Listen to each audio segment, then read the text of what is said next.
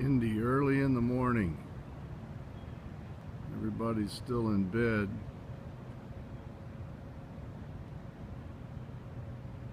Got the whole place to myself, kind of, sort of.